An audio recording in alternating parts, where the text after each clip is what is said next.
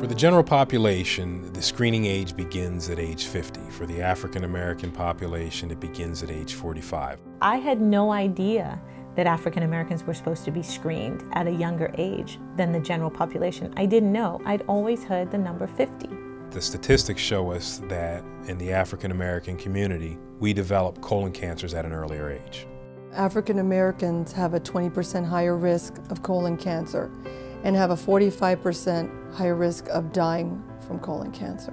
Despite the overwhelming benefit of screening colonoscopies, it's noted that only 63% of African Americans are actually being screened for colon cancer. My message is stop tripping, go get a colonoscopy. Whether you are 45 years or older, or if you have symptoms. Come in for colon cancer screening because this is the test that's going to make a difference in your life.